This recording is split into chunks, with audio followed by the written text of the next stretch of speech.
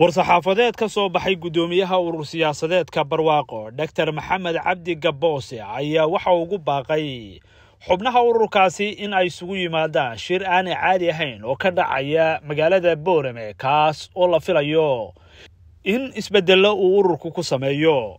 Warqad ka soo baxday guddoomiyaha ururkaasi ayaa waxay u dhigneed sida tan ujeeddo shirweyne aan caadi ahayn markaan arkay talabixinta guddida aayakatashiga ururka ee nuxurkeedu ahaa in ururku iskii u tartamo doorashada soo socota iyo wadatashigii guddida fulinta. Markaan arkay cuduudda taageerayaasha cusub ee inooga imanaya ururada iyo xisbiyada taasoo muujinaysa in guusha xisbinimo la gaadhi karo. Markaan arkay qodobka lix iyo tobnaad faqradiisa koowaad iyo labaad ee xeerka ururka barwaaqo ee qeexaya in guddoomiyaha ururku uu yahay hoggaanka iyo jiheeyaha guud ee ururka. Markaan arkay qodobka afartanaad faqradiisa sideedaad ee xeerka lambar afar iyo toban laba kun iyo saddex iyo labaatan oo dhigaya in guddoomiyuhu soo jeedin karo shirweyne aan caadi ahayn.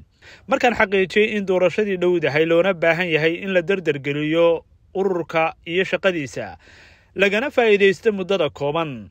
Waxaan go'aamiyey in dhammaan irgadii shirweynaha koowaad ay isugu yimaadaan. Shirweyne aan caadi ahayn oo socon doono muddo laba cisho ah kaas oo lagu qaban doono magaalada boorame ee gobolka awdal.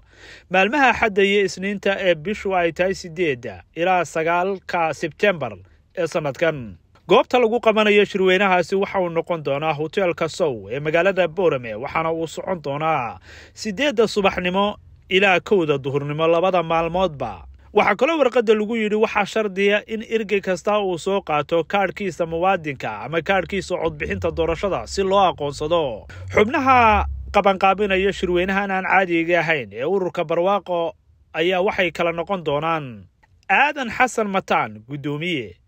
Xamde jaamac cali guddoomiye ku-xigeen cabdinaasir maxamed faarax guddoomiye ku-xigeen axmed maxamuud siciid xubin maxamed maxamuud cumar xoghayn warqadda ka soo baxday urur siyaasadeedka barwaaqo waxaa ku seexan doctor maxamed cabdi gaboose guddoomiyaha ururkaasi